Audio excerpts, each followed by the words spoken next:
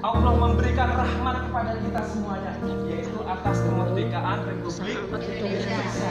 Yang diraih yaitu dengan cara berjuang yaitu melawan penjajah berjuang fisik ataupun non fisik perjuangan fisik sudah tentu ya. Pada tahun 15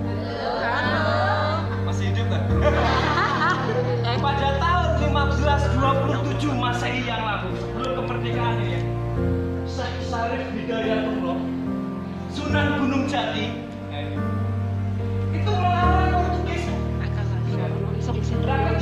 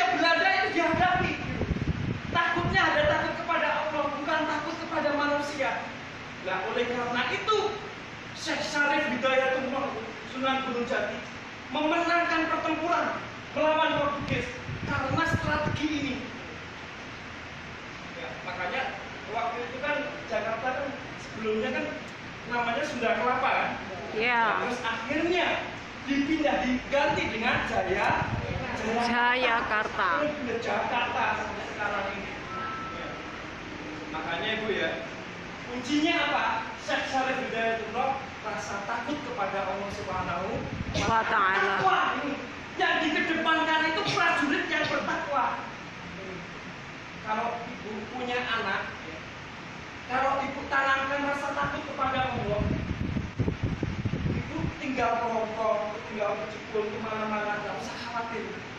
Karena apa? Anak itu kalau ada rasa takut kepada Allah, dia ada orang tua, nggak ada orang tua, ada orang, nggak ada orang, dia tetap yaitu di jalan yang be, yang benar. Ya, nanti kalau seandainya takutnya itu takut kepada manusia, ya kalau ada ibunya, ada bapaknya, ada orang, kalau nggak ada orang, gimbal semuanya. Nah, jadi malah susah gitu. Wah nggak ada orang yang sembada gitu jadi karena apa? Di hatinya dia hanya takut kepada manusia tidak takut kepada Allah. Kalau seandainya dia takut kepada Allah maka merasa diawasi. Kalau dia mau berbuat maksiat tuh nanti bagaimana di akhirat? Allah makanya dia berpikir ulang. Makanya kunci kita ya kita lebih tanamkan kepada anak-anak kita, pada diri pribadi kita, rasa takut kepada Allah Subhanahu wa Ta'ala. Itu akan tenang nantinya. Ya. Akan tenang kita. Kalau punya anak, anak yang ada rasa takut kepada Allah. Jadi dibiarkan bisa, bisa berkembang sendiri tuh maksudnya.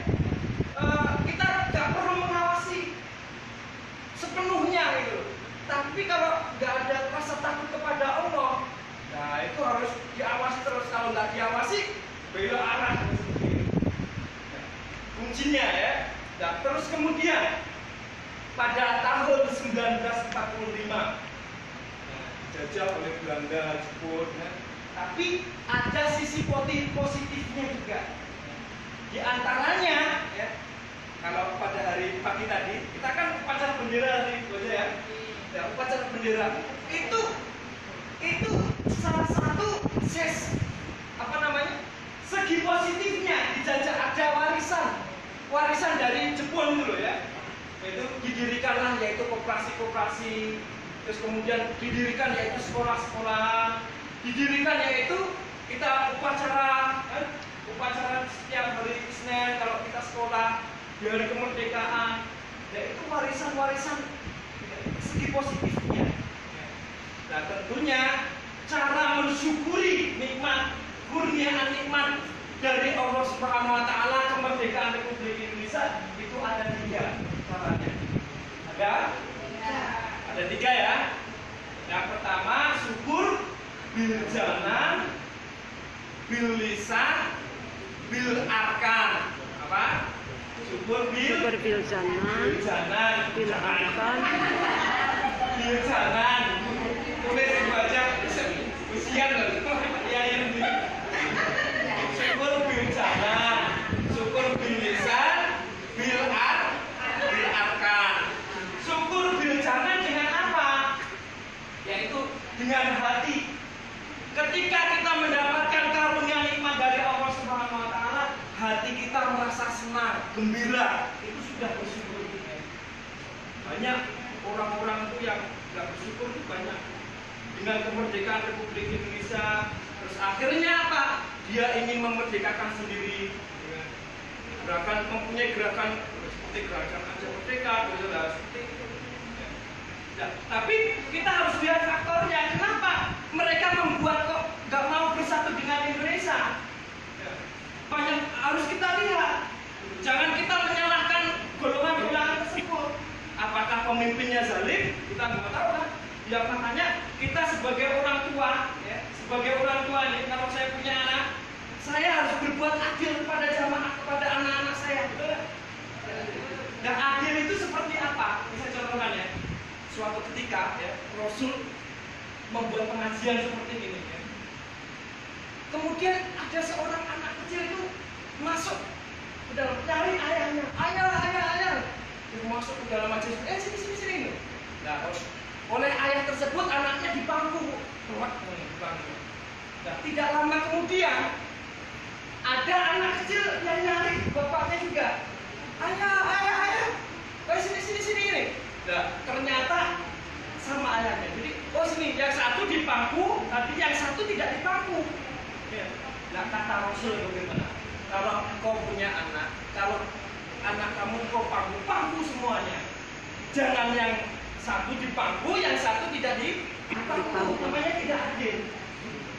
Nah, maksudnya kita harus berbuat adil. Ya jangan sampai kita itu sebagai pemimpin ya tidak berbuat adil. Nanti kalau kita ber, nggak berbuat adil ya disenangi jamaah disenangi anak ya rakyatnya marah. Seperti itu. Ya kita harus berbuat adil. Jadi tidak hanya berbuat adil saja tapi eh ihsan ya Allah kan memerintahkan kepada kita Inna Allah ya'muru bil adli wal ihsan. Nah, kita ini ya diperintahkan Allah untuk berbuat adil tapi tidak hanya adil. Tapi ihsan ihsan itu seperti apa Bu? kalau saya contohkan ya kalau saya di sini ya, mau ke kos WP mau ke KJRI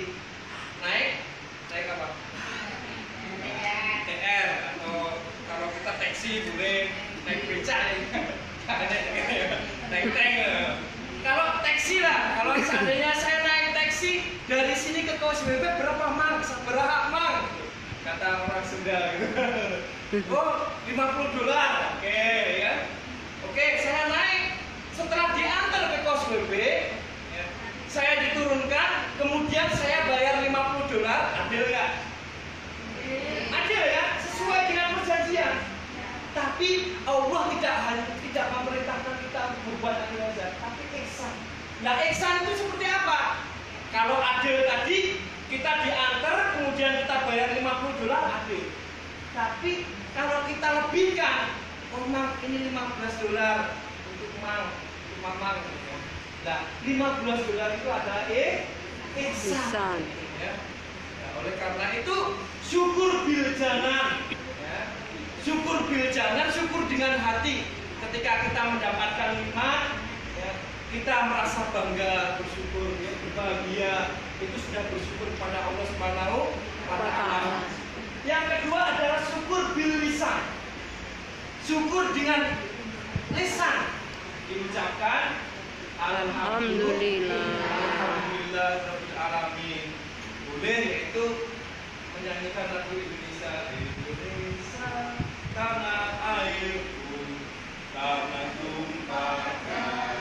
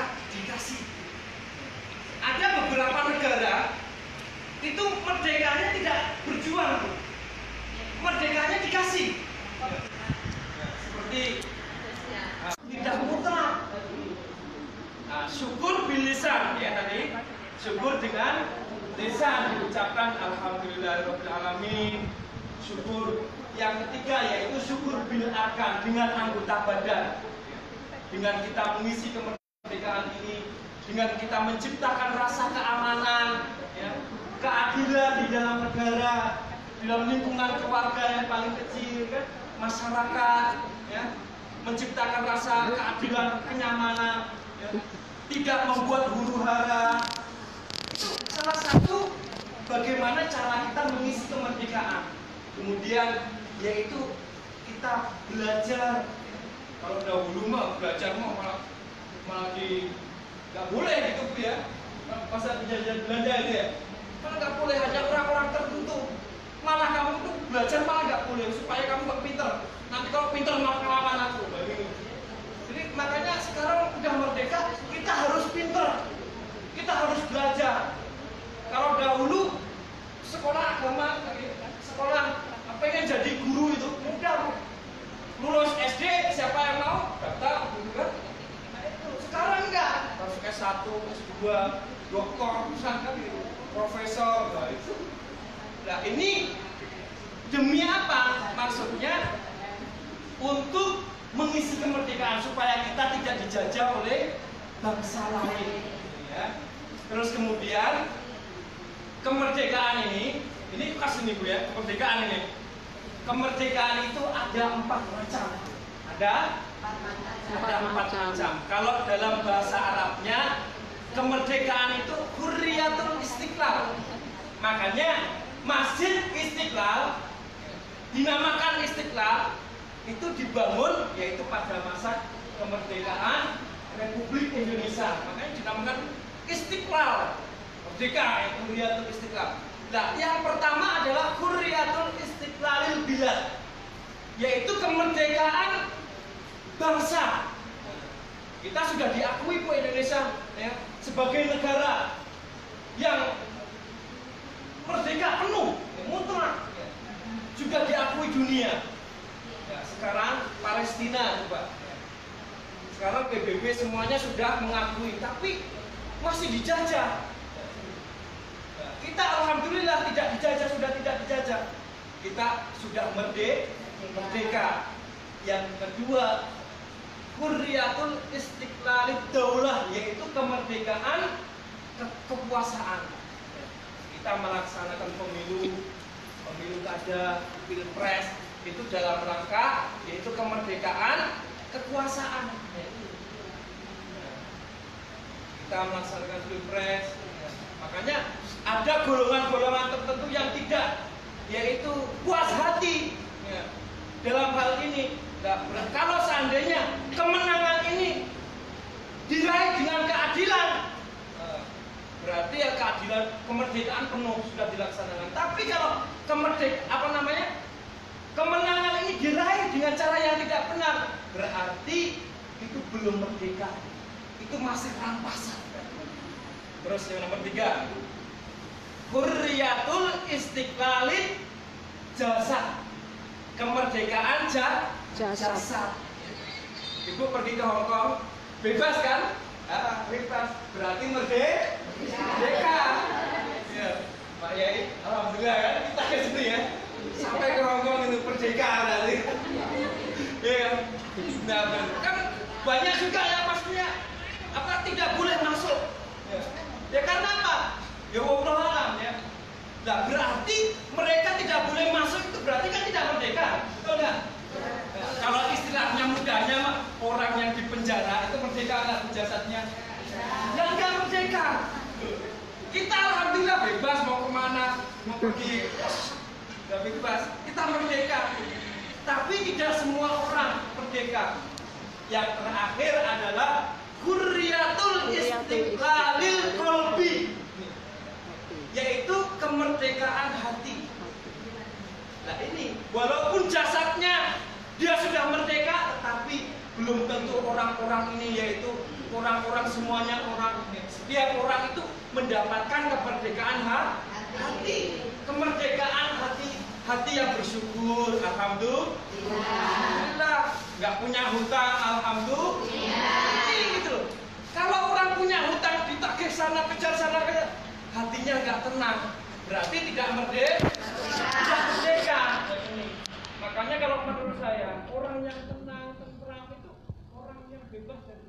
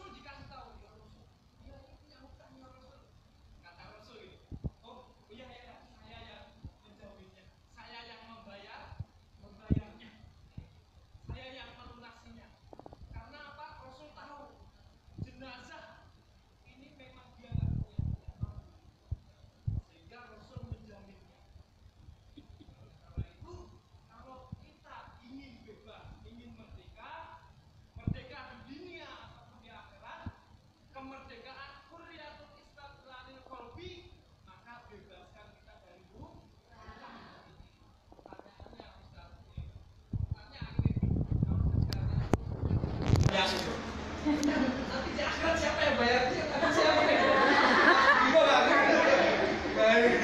gue sih aja ini penak-penak ibadah mana itu ya orang tanda tangan ya penak Allah selamat kepada Allah sampai jam berapa nih bu? bagian saya Tengah lima belum kita berdoa kepada Allah mudah-mudahan kita semuanya yang hadir di sini panjang umurnya. Amin batinnya, lapangkan rezekinya, mudahkan dalam mencari rezeki, yang putri kita dijadikan putra putri yang soleh dan soleha, mudahkan dalam mencari ilmunya, senantiasa mendapatkan lindungan keselamatan dari Allah Subhanahu Wa Taala, senantiasa dalam keimanan dan ketakwaan kepada Allah Subhanahu Wa Taala. Alhamdulillah, diberkati umur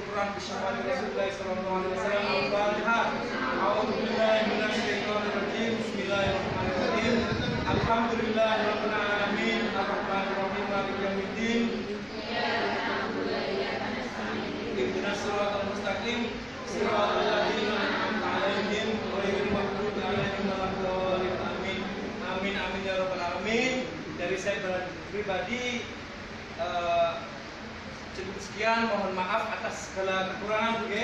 Sami-sami. Saya salawat terakhir. Kami ini yaitu khusus ya ada peringatan 17-an dan juga ada Pak Kiai dan untuk selanjutnya waktu dan tempat Pak Kiai Assalamualaikum warahmatullahi wabarakatuh. Waalaikumsalam warahmatullahi wabarakatuh.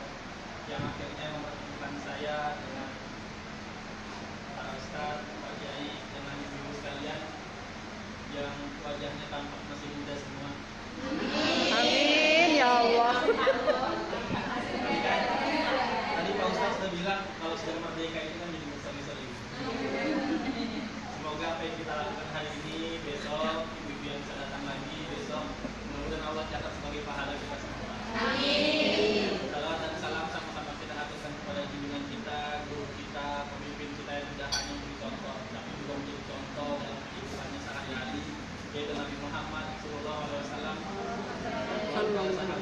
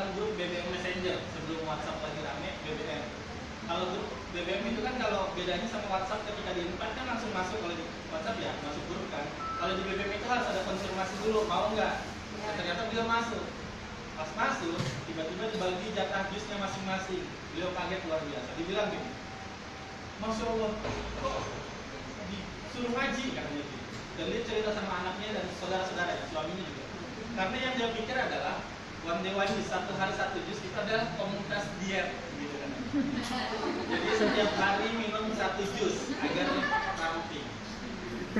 Jadi ternyata beliau salah membaca, JUZ bukan JUZ gitu.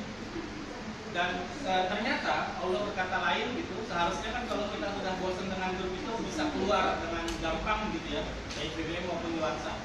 Ternyata e, keluarganya bilang, sudah ikuti saja dulu, nanti kalau memang nggak kuat silahkan keluar. Tapi ternyata bertahun-tahun sampai kemarin saya ketemu beliau masih dengan tubuh yang masih besar.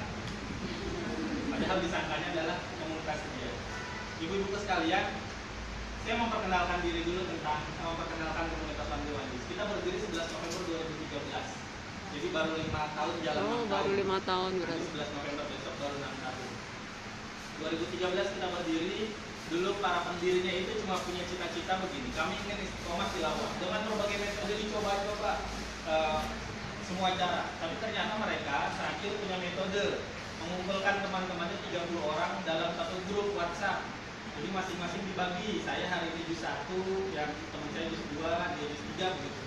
Ternyata hari pertama berhasil, hari kedua dilanjut. Saya yang hari ini jus 1, besok jus 2 begitu dalam grup. Nah, mereka akhirnya ter termotivasi karena temennya udah eh, selesai tilawah dan saya belum termotivasi. Masa dia bisa saya nggak bisa? Begitu seterusnya sampai akhirnya keberhasilan orang-orang dalam satu grup ini eh, muncul dan dibicarakan dari mulut ke mulut. Saya gabungnya tanggal 25 November itu sudah grup 41 akhir akhir Desember 2013 sudah ada 10.000 member. Nah, waktu itu kita bikin grand launching 4 Mei 2014 di Masjid Istiqlal. Waktu itu kita pengen punya target muri ya. Target muri eh, dengan peserta tilawah terbanyak. Waktu itu saya jadi tim konsumsi di Istiqlal disuruh karena target kita waktu itu 30 ribu orang. Saya disiap diminta siapkan 30 ribu nasi bok. Kebayang sampahnya nasi bok itu sampai 4 kontainer. Ternyata Allah berkata lain. Lagi eh, menghadirkan waktu itu akhirnya yang hadir jamaah sekitar 70 ribu orang. Dan kita dapat rekor dunia baru. Dengan peserta tilawah. Jadi di seluruh dunia ini belum ada orang yang berkumpul bareng-bareng tilawah bareng-bareng. Baru di Masjid Istiqlal. 70 ribu orang hadir. Dan waktu itu bersama pula dengan legalitas komunitas Pandewan Jus tahun kemudian 2015 kita bikin 30 Agustus kita bikin juga. Apakah audit ini Wandi ini hanya sekedar euforia? Orang rame-rame ikutan. Habis itu males lagi. Ternyata 2015 kita bikin sama nih bulan Agustus peringatan kemerdekaan Republik Indonesia dalam dunia Islam. Namanya Kodok untuk Negeri Masjid Istiqlal yang hadir 30 ribu sampai 40 ribu orang kurang lebih. Maka sampai hari ini akhirnya berdasarkan permintaan awalnya kita cuma punya punya mem, eh, punya produk itu satu hari satu tapi sampai hari ini kita sudah punya empat program program tilawah. Maka hari ini saya juga ingin mengajak ibu-ibu sekalian, barangkali ada yang mau bergabung. Yang pertama tadi tentu satu hari satu jus, one day one jus. Tilawahnya satu hari satu jus. Kalau belum sanggup yang kedua ada namanya modal, one day half jus. Satu hari setengah jus. Yang ketiga ada namanya modal, one day one lembar. Satu hari satu lembar. Ini untuk anak-anak usia maksimal 12 tahun. Jadi kalau ibu-ibunya yang masih muda belum 12 tahun bisa ikutan modal. Yang keempat terakhir namanya Model Star. Star itu singkatan dari setiap hari tilawah Quran. Minimal satu ayat, ibu bisa gabung di Wani. Bisa menjadi uh, bagian dari komunitas Wani. Kenapa satu ayat? Karena kami yakin tidak ada seorang muslim pun yang ketika punya keinginan cita-cita mau ngaji, baca satu ayat, ah saya buka, dia bacaan dong ditutup lagi nggak mungkin. Atau baca yasin gitu, lagi. Alif lam Mim ditutup lagi ya. Karena kami yakin ketika mereka sudah buka, buka Quran, maka akhirnya termotivasi paling tidak dibaca satu halaman, satu ayat, satu lembar, atau bahkan sampai satu juz. Maka hari ini saya ingin mengajak ibu-ibu, ayo gabung dalam komunitas Wani Wani. Mari bersama-sama untuk bisa menjadi bagian orang-orang yang membumikan Al-Quran. Kalaupun akhirnya tidak ingin bergabung, ya paling tidak kita sama-sama mengajak sebanyak-banyak orang. Terus orang-orang untuk bisa terus uh, dekat kepada Al-Quran. Ada banyak cerita sebenarnya yang bisa uh, saya bagi. Nah, termasuk sampai hari ini. Waktu itu saya pernah diminta uh, hadir ada konferensi pers sebuah film Islami. Lalu diundanglah komunitas. Satu kesempatan kami ditanya. Saya ditanya e, berapa e, mas dari mana e, komunitas apa? Terus berapa membernya? Waktu itu ada saya, saya bilang saya dari komunitas Wajus member kami ada 105.516 tersebar di 34 provinsi 181 kota kabupaten dan 21 negara. Langsung waktu itu kamera wartawan itu menyorot ke saya. Saya waktu itu langsung kaget ini karena saya ganteng atau gimana? Akhirnya saya disorot sama wartawan. Nah ibu-ibu sekalian sebagai eh, satu contoh saja bahwa ternyata dengan jumlah yang besar itu menjadi magnet bagi banyak orang lagi untuk eh, wah kaget dan akhirnya banyak yang bergabung setelah itu. Maka keikutsertaan kita mudah-mudahan bisa menjadi bagian dari motivasi. Coba bayangkan kalau komunitas One Dewanjus hanya diikuti kami pengurus seluruh dunia kurang lebih sekitar seribuan orang. Itu kan artinya komunitas Quran, komunitas kebaikan itu nggak menarik. Semakin banyak orang akhirnya orang tahu dan banyak orang-orang yang akhirnya terbuka. Saya mau bagi contoh satu kegiatan.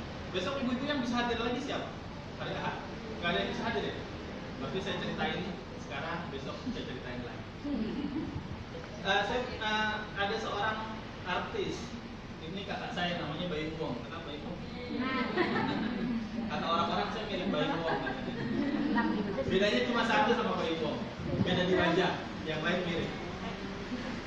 Mas Bayu Wong ini pernah cerita di medsosnya. Dia bilang begini beliau ikutan Wali Wanjus dulu. Eh, beliau ceritakan saya pertama kali ikut Wali Wanjus saya mulai rutin ngaji satu hari satu juz. Ini Bayu Wong cerita sendiri. Saya rutin ngaji satu hari satu juz berhari-hari sampai suatu ketika di mana beliau ternyata punya kesibukan luar biasa. E, syutingnya padat, berangkat pagi, pulang pagi, berangkat ada bulan pulang ketemu bulan lagi, begitu terus. Sampai akhirnya dia hanya cuma bisa beberapa hari itu dia rasakan dia cuma bisa ngaji sehari 5 sampai 7 lembar. Kalau satu juz itu kan 10 lembar. 5 sampai 7 lembar doang. Beberapa hari dia rasakan. Sampai akhirnya dia putuskan, saya turun di program modal aja. Dia katakan kartunya, tolong turunkan saya di program di bawah modal satu hari setengah juz. Karena saya cuma bisa ngaji sehari 5 sampai 7 lembar. Sama admin auditnya dikabulkan, diturunkan di program modal.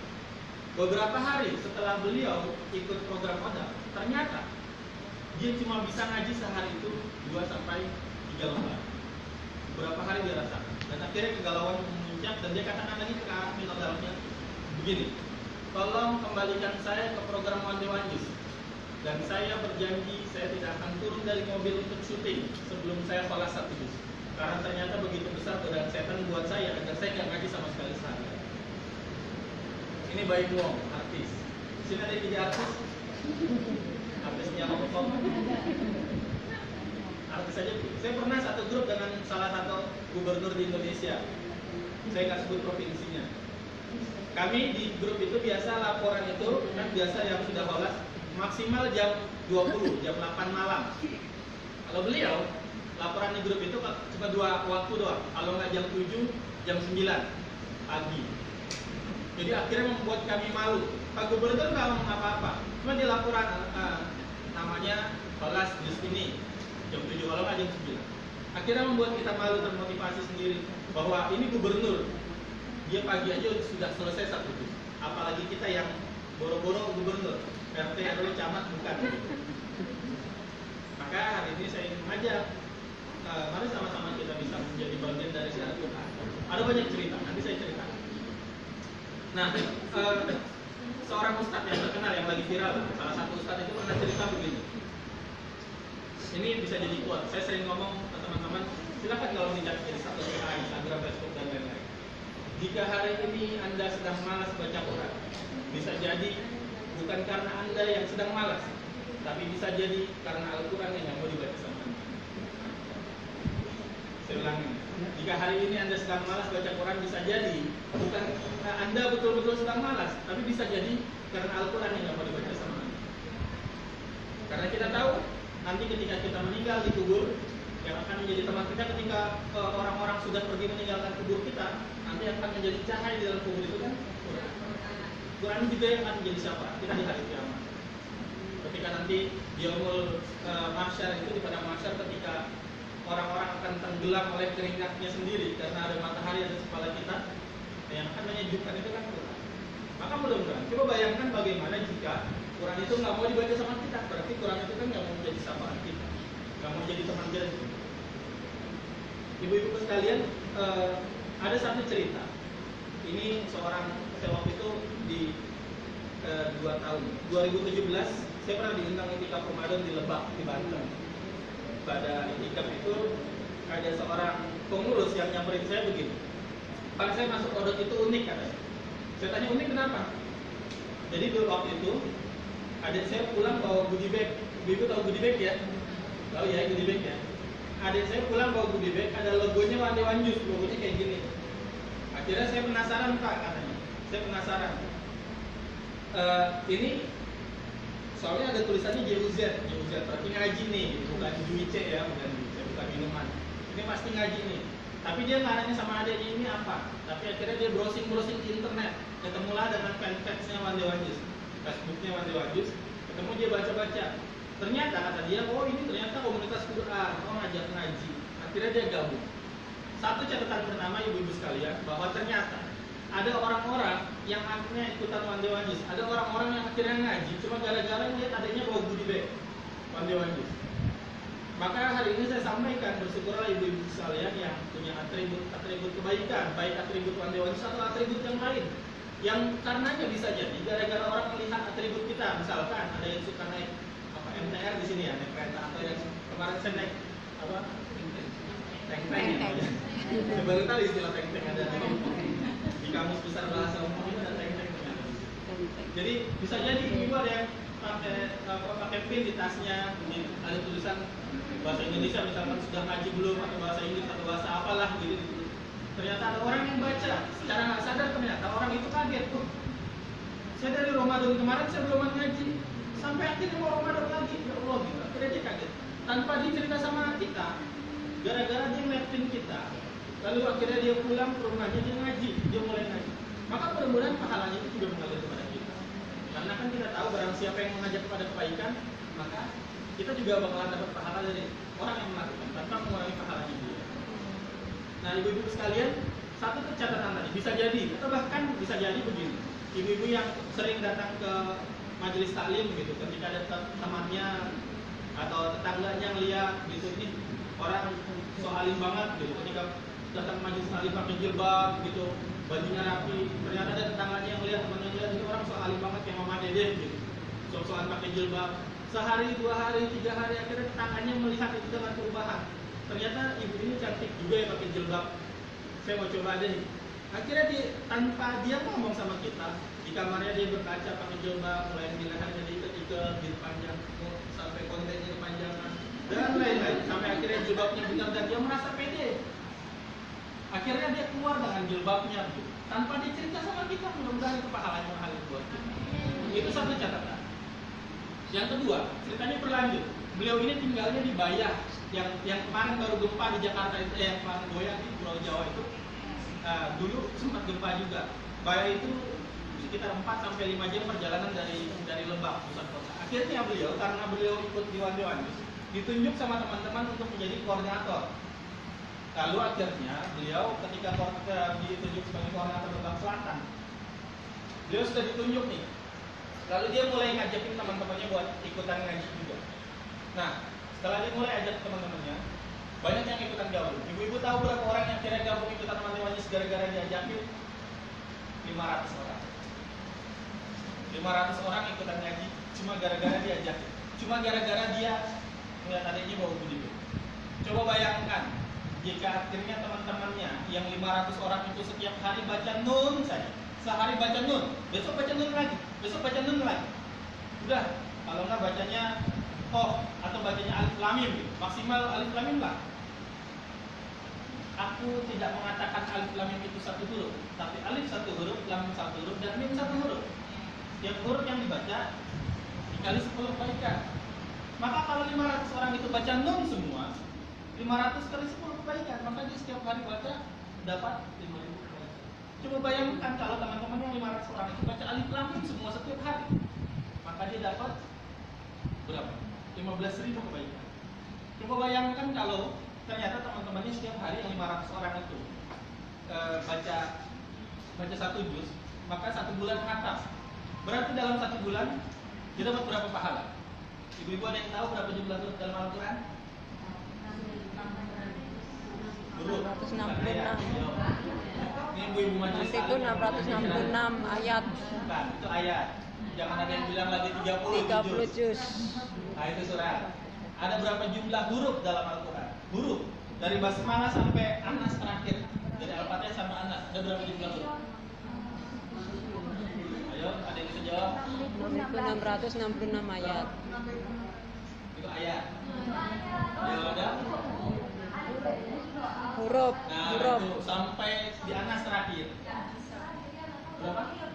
6 juta nawar ibunya. Salah. Ayo, ada yang tahu? Menurut Imam Syafi'i, jumlah huruf dalam Al-Quran itu ada 1 juta 27 ribu. 1 juta 27 Menurut. Imam Syafi'i.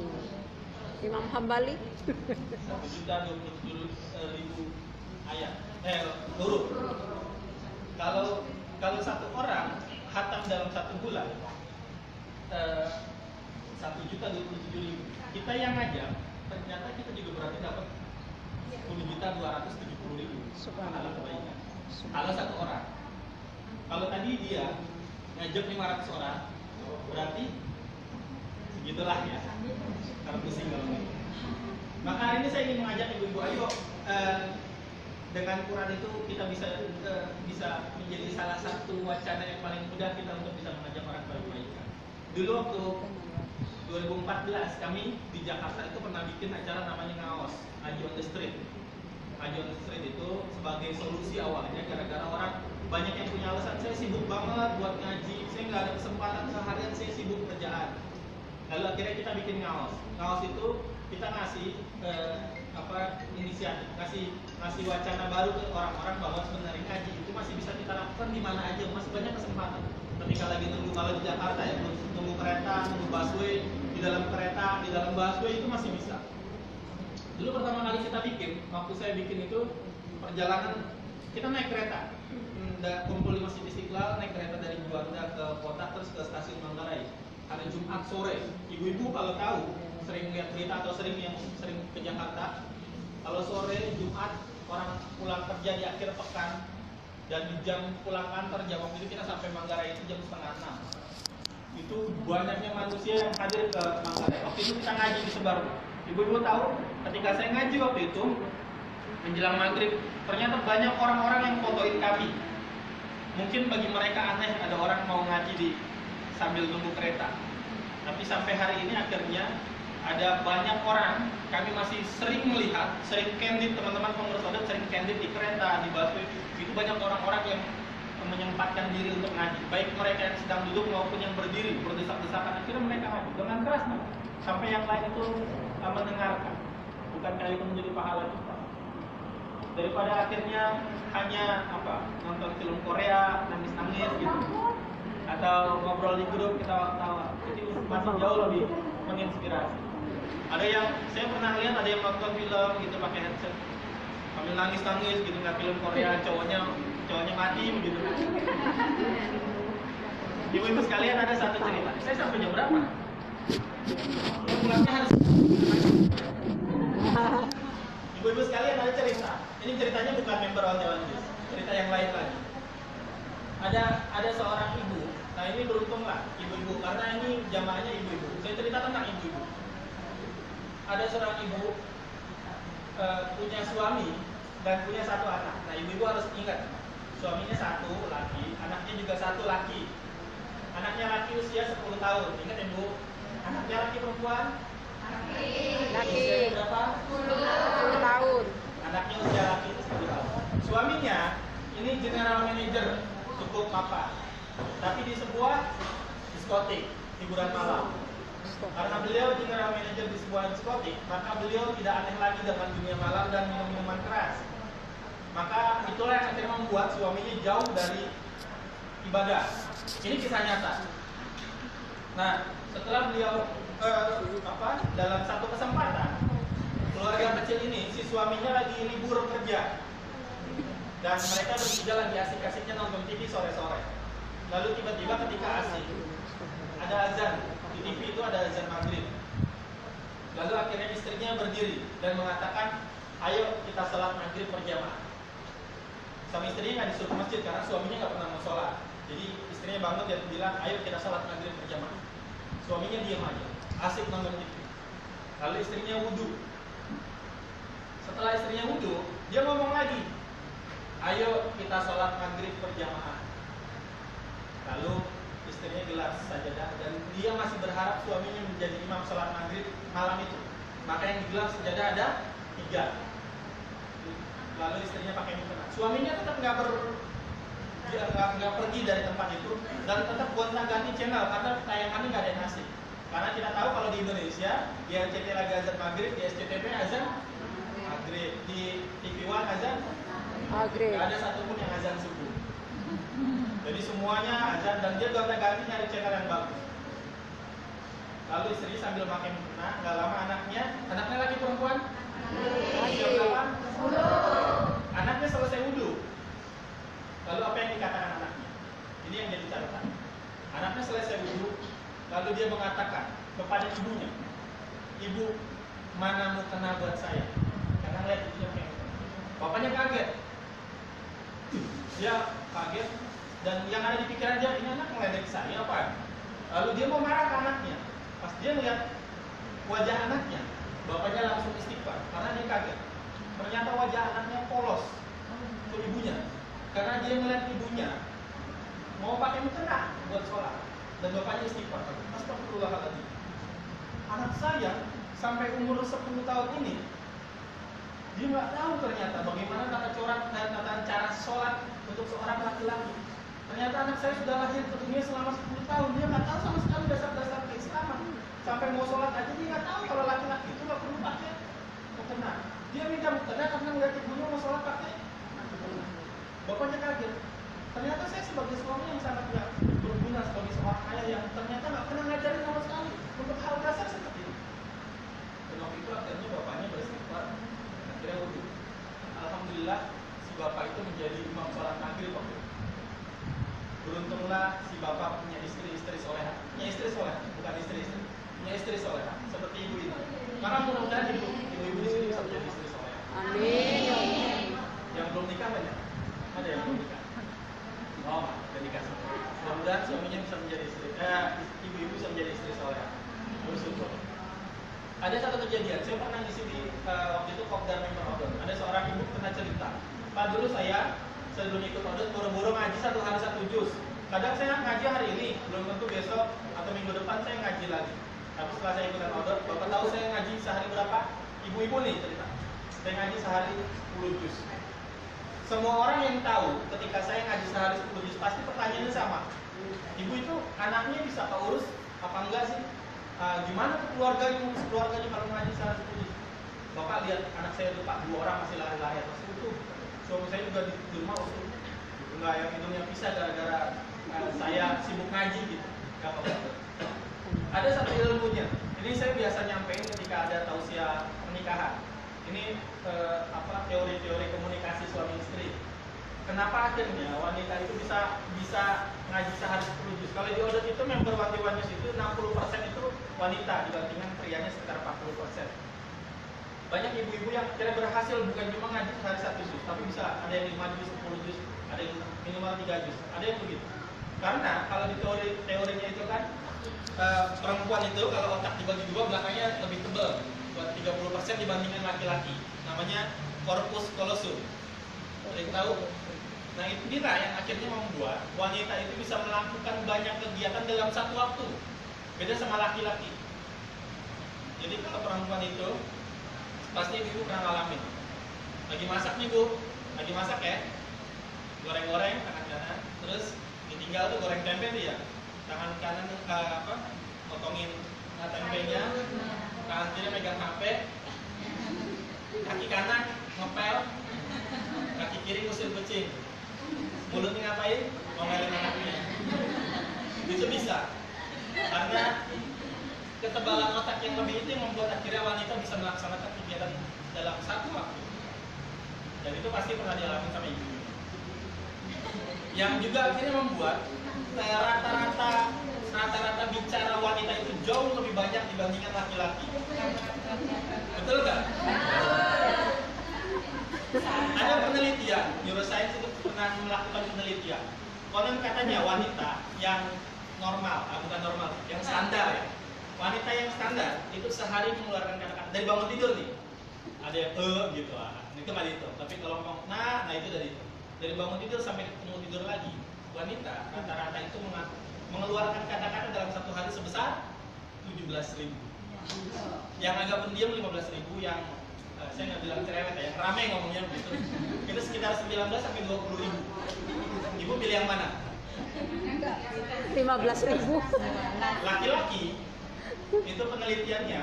Kalau 15 ribu laki-laki kebanyakan. kalau sehari yang standar itu sekitar 7.000 kata dalam sehari.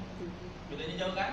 Yang banget. yang pendiam itu 5.000 yang berisik 9.000 yang model-model pembicara itu sekitar 9.000 nah yang akhirnya membuat banyak kalangan suami istri itu ber, eh, ribut ada ada karena kalau laki-laki itu bu nah ini teori komunikasinya kalau laki-laki itu ketika dia sudah fokus pada satu hal misal megang handphone baca koran nonton bola di Ustadz bilang kalau lagi nonton bola lagi asik ketika orang sudah fokus laki-laki sudah fokus maka dalam 10 menit kemudian pendengaran si bapak ini akan mulai berkurang karena dia sudah fokus Nah, itulah yang akhirnya membuat banyak kejadian, banyak ba- para suami yang akhirnya konsultasi ke psikolog.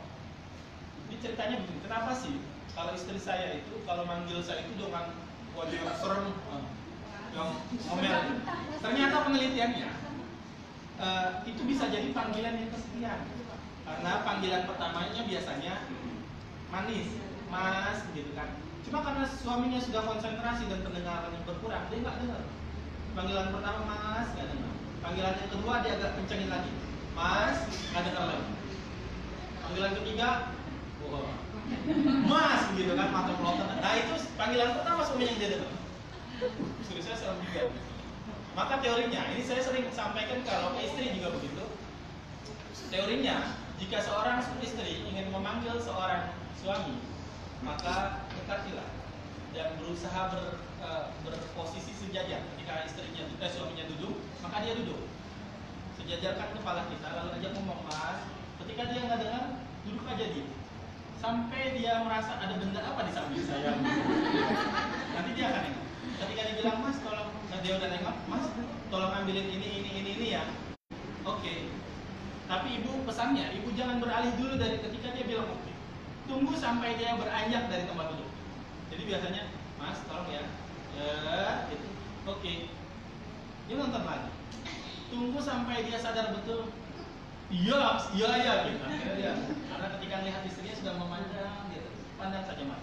Gitu teori.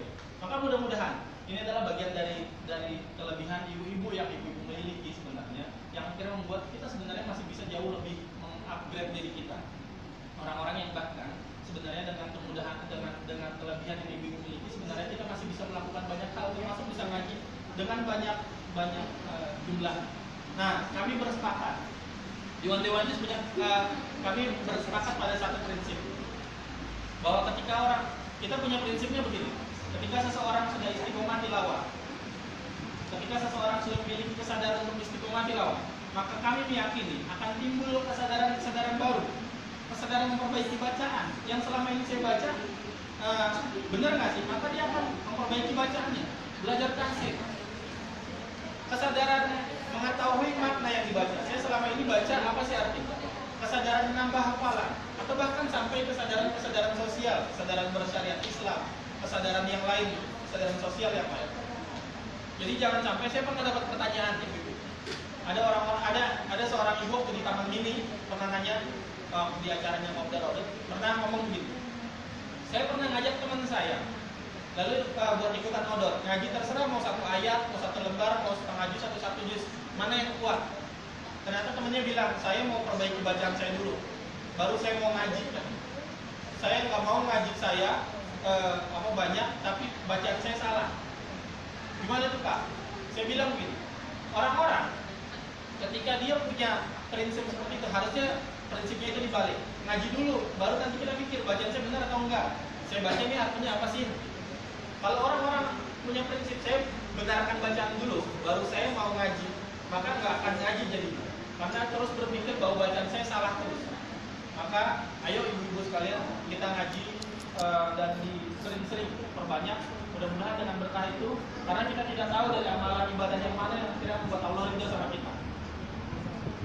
Hanya dengan keridhaan Allah saja kita akhirnya bisa masuk dalam surga.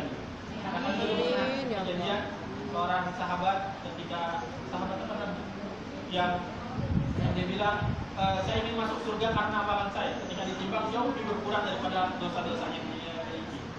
Maka kita akan bisa masuk dalam surganya Allah cuma gara-gara ridhonya Allah. Maka mudah-mudahan dengan semua amalan kebaikan yang kita lakukan eh, Allah ridho sehingga akhirnya Allah kita ke surga. Saya ingat dalam dalam satu pernah guru ngaji saya pernah cerita pernah ngasih tahu begini. Eh, jika seseorang diberikan amanah sama Allah, amanah kebaikan, maka yakinlah bahwa ada satu amalan, ada satu ibadah yang sebenarnya Allah sukai sehingga akhirnya Allah memberikan amanah itu kepada kita.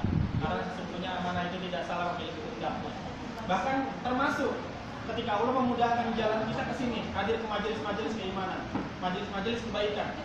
Karena dari sekian banyak teman-teman kita yang akhirnya Allah pilih yang datang ke sini, kita bersyukur mudah-mudahan ibu-ibu bahwa bisa jadi ada amalan-amalan sebelumnya, ada kebaikan sebelumnya yang akhirnya Allah suka sehingga Allah mudahkan ke sini. Karena kan katanya di sini lagi rame demo, ada banyak orang-orang yang merasa saya nggak mau datang karena ada demo takut. Tapi ternyata Allah beranikan ibu-ibu untuk hadir ke sini. Allah mudahkan jalannya. Mudah-mudahan karena ada ada amalan kebaikan yang Allah sukai sehingga akhirnya ibu-ibu disampaikan hadir ke sini. Ibu sekalian, eh, maka beruntunglah ya mudah-mudahan ini bisa menjadi eh, salah satu amalan kita, salah satu kebaikan yang akhirnya nanti menular kepada orang lain sehingga akhirnya Allah suka kepada kita. Itu mungkin yang bisa saya sampaikan. Mudah-mudahan bisa ketemu lagi eh, di kesempatan ini dan di kesempatan berikutnya kalau nanti ibu main ke Jakarta bisa main ke rumah saya ke rumah yang cukup jauh di sana. Itu mungkin terima kasih. Wabillahi taufiq. Assalamualaikum warahmatullahi wabarakatuh. Waalaikumsalam warahmatullahi wabarakatuh.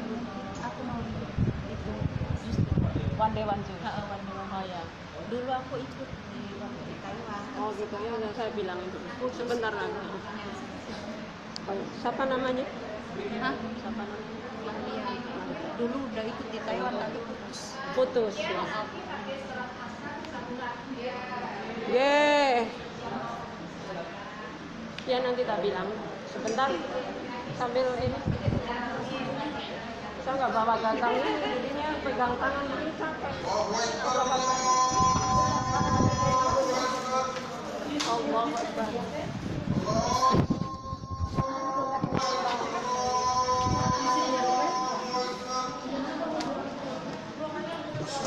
Ini nanti ada yang mau daftar one juice sebentar lagi tapi insya Allah.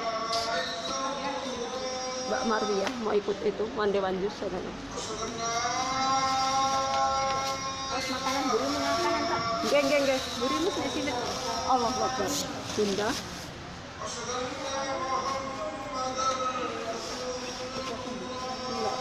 Aku nggak bawa cash hari ini. Saya benar-benar kehabisan uang hari ini.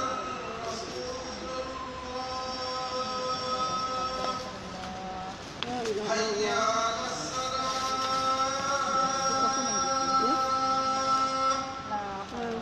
哎呀